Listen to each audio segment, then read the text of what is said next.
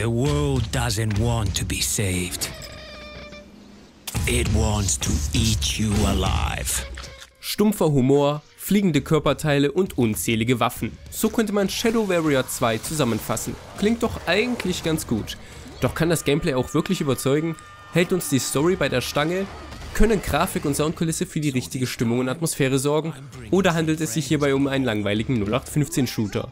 Ich bin Fabrezel vom MMOGA YouTube Team und ich werde all diese Fragen und mehr in diesem Test zu Shadow Warrior 2 für euch beantworten.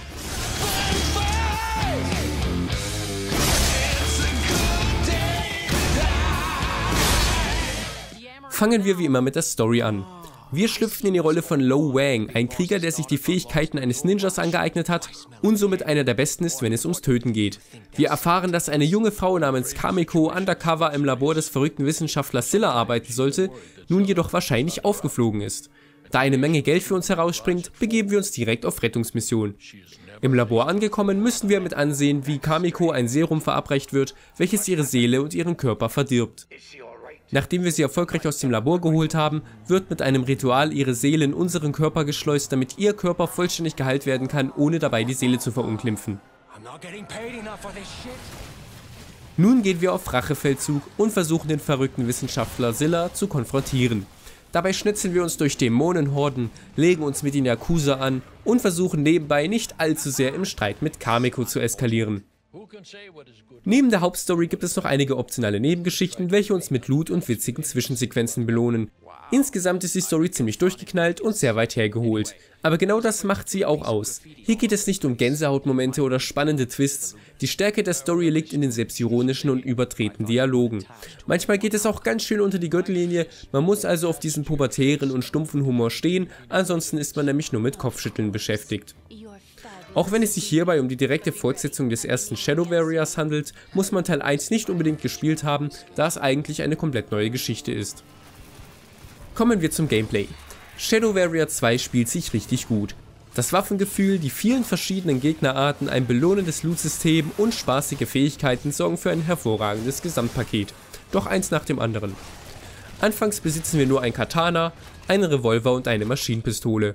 Doch es dauert nicht lange, da finden wir jede Menge neuer Waffen. Egal ob Schrotflinten, Bögen, Raketenwerfer oder Kettensägen, für jedes etwas dabei. Zusätzlich können wir auch Waffen beim Händler erwerben. Ab und zu geraten wir an Bossgegner, wenn wir diese töten, lassen sie meist einzigartige Waffen fallen. Und was mir besonders gefällt, ist wie kreativ die meisten Waffen umgesetzt sind. So können wir zum Beispiel mit Cyber-Katanas Energiewellen auf Gegner schleudern, oder mit diesem Gerät rösten wir gleich mehrere Gegner mit durchgehenden Elektroschocks. Oder wir nutzen einfach ganz unkonventionell die Krallen eines eben zerlegten Dämonenbosses. Immer wenn wir denken, origineller kann es nicht werden, zeigt uns das Spiel, wie ideenreich es ist. Auch wenn jede Waffenart seinen Reiz hat, machen vor allem die Nahkampfwaffen meiner Meinung nach am meisten Spaß. Mit ihnen können wir auch Spezialangriffe ausführen, welche bei längerem Aufladen sehr viel Schaden verursachen. Beim Einsatz von Kettensägen wird sogar die Zeit etwas verlangsamt, damit wir auch richtig schön sehen können, wie viel Schaden wir anrichten. Das Schadenssystem ist generell sehr befriedigend dargestellt. Wir sehen direkt die Ausmaße unserer Angriffe. Gegner mit Schwertern in vier Teilen, kein Problem. Gegner mit einem Granatwerfer in 1000 Stücke sprengen, auch kein Problem. Man merkt schnell, dass das Spiel definitiv nichts für schwache Nerven ist. Überall auf der Map sind Kisten verteilt, in denen wir Geld, Munition und Upgrades für unsere Waffen finden. Apropos Upgrades. Wir können unsere Tötungsgeräte natürlich auch upgraden. Jeder Waffe können wir drei Boni hinzufügen. Diese finden wir zuhauf als Loot, so können wir unseren Waffen neben stinknormalen Boni wie Bonusschaden oder verringerte Nachladezeit auch Elementareffekte wie Gift, Feuer, Elektrizität oder Kälte hinzufügen. Neben unseren Waffen können wir aber auch unser Chi einsetzen. Wir lernen im Laufe des Spiels neue Fähigkeiten, welche sich mit Chi einsetzen lassen. So können wir uns heilen, Gegner wegstoßen oder sogar kurzzeitig unsichtbar werden. Sehen wir uns doch mal die besagten Fähigkeiten an. Anfangs stehen uns einige Standard-Skills zur Verfügung, mit denen wir bestimmte Angriffsarten verbessern oder unsere maximalen Lebens- und Chi-Punkte vergrößern. Später schalten wir durch das Abschließen von Quests neue Fähigkeiten frei oder kaufen sie bei einem Händler. Doch auch manche Gegner lassen ab und zu Fähigkeitskarten fallen. Insgesamt steht uns eine riesige Palette an Fähigkeiten zur Verfügung und jeder sollte die richtigen Fähigkeiten für seinen bevorzugten Spielstil finden. Allerdings sind einige Boni viel stärker als andere, was man dann auch beim Balancing merkt. Doch schon kurze Zeit nach Release bekam ich eine Benachrichtigung, dass einige Fähigkeiten genervt oder gebufft wurden und ich deswegen nochmal all meine bisher verdienten Fähigkeitspunkte neu verteilen durfte. So muss es sein. An dieser Stelle ein Lob an die Entwickler dafür, dass sie sich das Feedback der Spieler direkt zu Herzen nehmen. Abschließend lässt sich also sagen, dass das Gameplay wirklich die größte Stärke des Spiels ist und gerade durch das wunderbare Waffenhandling wird das Spiel trotz einiger repetitiver Phasen nicht langweilig. Gerade wenn es scheint ein wenig eintönig zu werden, finden wir eine neue Waffe, mit der das Töten von Dämonen noch mehr Spaß macht und etwas frischen Wind reinbringt. Und vor allem im Koop-Modus macht das Spiel unglaublich Laune. Auch wenn man alleine mit dem Spiel seinen Spaß haben kann, würde ich euch empfehlen, das Spiel mit wenigstens einem Freund zusammen zu spielen. Glaubt mir, das steigert den Spaßfaktor nochmals ungemein. Sehen wir uns noch das Erscheinungsbild an. Insgesamt macht Shadow Warrior 2 einen guten Eindruck. Vor allem die detailreiche Umgebung, gute Lichteffekte und beeindruckende Reflexionen sorgen für ein stimmiges Bild. Auch die Physikeffekte machen einfach Spaß. Wir können den Großteil der Umgebung zerstören und die Körperteile der Gegner fliegen auch in Massen herum. Großartig. Leider sind dafür die meisten Texturen nicht allzu scharf. Vor allem die Charaktere sehen leider sehr verwaschen aus. Doch das Spiel setzt aufs Gesamtpaket und das ist durchaus recht stimmig und atmosphärisch. Auch die verschiedenen Nachlade- oder Angriffsanimationen sind super gelungen. Zudem variieren die Kulissen.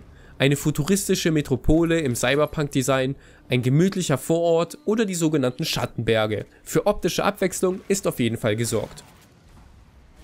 Beim Sound gibt es auch wenig zu beanstanden.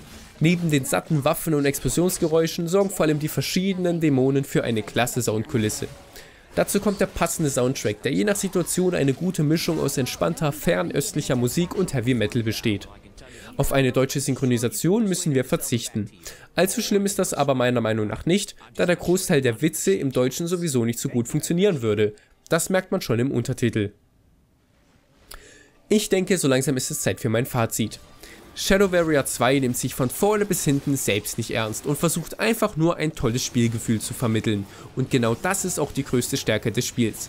Die Story an sich ist total bescheuert, weiß aber durch witzige Dialoge durchaus zu unterhalten. Die Grafik ist im Allgemeinen recht anschaulich. Auch wenn die Optik des Spiels nicht mit anderen aktuellen Spielen mithalten kann, kommt genug Stimmung und Atmosphäre auf. Ich kann Shadow Warrior 2 jedem empfehlen, der gerne mit Freunden im Koop spielt, auf stumpfen Humor steht und Spaß am Schnetzeln und Looten hat. Wer jedoch eher gut erzählte Geschichten bevorzugt und mit Fäkalhumor und Splatter nichts anfangen kann, der wird wohl nicht allzu viel Spaß mit dem Spiel haben.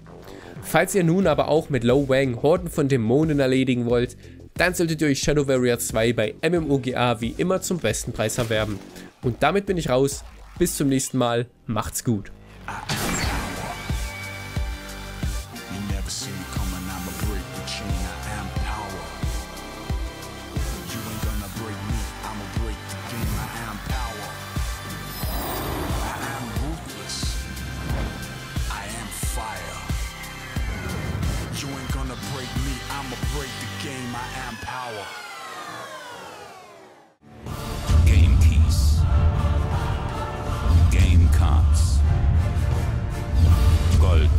Credits. MMOGA, dein Gaming-Spezialist mit Kampfpreisen.